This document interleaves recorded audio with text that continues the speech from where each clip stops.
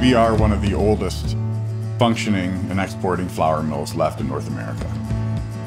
Our flour mills has been located at this site for 200 years, right on the banks of the Medway Creek, which is also our power source, which we actually feed through the mill itself to go through underwater turbines and produce energy to mill the flour.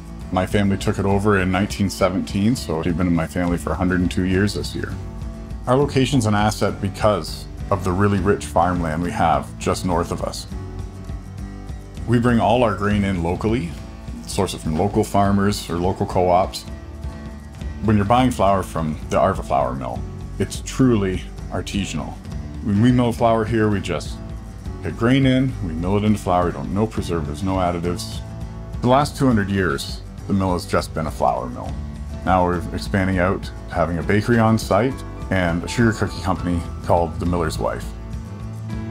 In dealing with Middlesex County, they've been very open to new ideas and really wanting to work with us. Our market's pretty diverse. We get a lot of tourist traffic in the summertime, but most of the people actually buying product are in the local area. We have a little online store as well that ships all over the United States and Canada. We've even done loads of flour that get as far away as Australia.